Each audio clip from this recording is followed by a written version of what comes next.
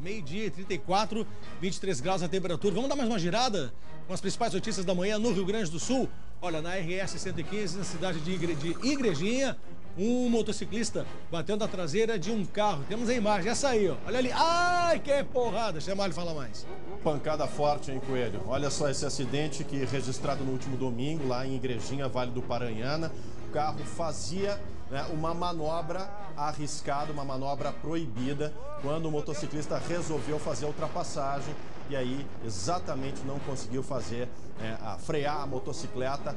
A gente percebe ali na pista que a faixa contínua estava no sentido contrário é, e a faixa pontilhada, ou seja, era permitido ao motociclista fazer a ultrapassagem, no entanto, é, tudo indica que ele estava acima de um limite de velocidade permitido.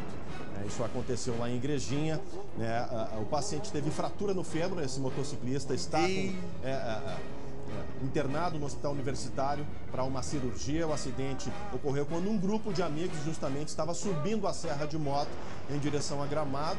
Não é possível perceber a velocidade, né, mas indica que ali, ali, se não me falha a memória, é 80 km por hora.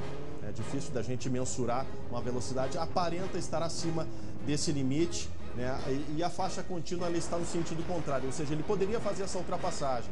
No entanto, o motorista da caminhonete deveria primeiro sinalizar à direita para fazer, né, fazer um balão e atravessar a rodovia no sentido desse paradouro aí, que é para onde ele é estava querendo se deslocar, né? É, no caso, os dois erraram, né? Um Exato. talvez ali pela imprudência e não calcular que o cara tá ali, ó.